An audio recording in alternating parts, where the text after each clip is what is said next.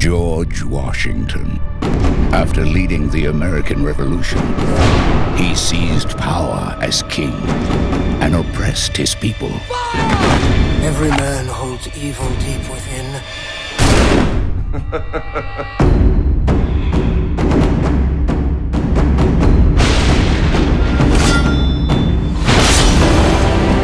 One man has led the resistance against this madness. The only way to end this is to get Washington.